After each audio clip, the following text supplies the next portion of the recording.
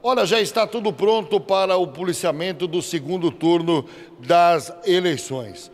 Neste final de semana, nos dias 29 e 30, sábado e domingo, serão mais de 100 policiais atendendo somente ocorrência específica do dia do voto, com viaturas em pontos fixos e rondas ostensivas na cidade. O principal objetivo do reforço no efetivo é garantir a segurança para atender a população sobre as eleições. Né? No domingo, dia 30, a PM vai trabalhar com 108 policiais e seis viaturas fixas nos principais colégios de votação. Entre eles, o Colégio São Bento, o Colégio Professor Lapagesse, Coronel Marcos Rovares, Padre Miguel Giaca, Colégio João D'Agostin e também João Fraceto na Grande Santa Luzia. As demais viaturas da PM vão realizar rondas ostensivas nos locais de votação.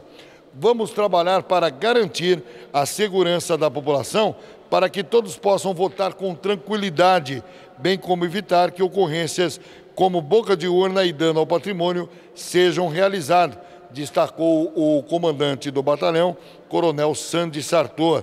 A Polícia Militar desenvolveu um planejamento com juízes e promotores das três zonas eleitorais que abrangem o nono batalhão, que são a 19 a, a, a 92 e a 98.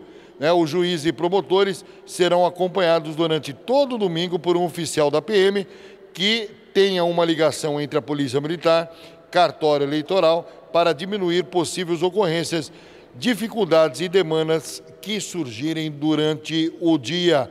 O coronel Santos Sartor fala sobre esse policiamento que vai acontecer nesse final de semana. Assim como no primeiro turno, a Polícia Militar estará presente para garantir a segurança no dia do voto. Estaremos de maneira permanente nos seis maiores locais de votação aqui em Criciúma, e os demais locais serão atendidos através de revezamento com viaturas exclusivas para as eleições. Contaremos também com viaturas da Polícia Militar para atender ocorrências e denúncias envolvendo crimes eleitorais e, para as comemorações após a apuração, o local destinado será a Rua da Gente. Caso seja divergente o, candidato, o partido do governador e presidente, o espaço do Parque Altair Guide será destinado às comemorações para presidente.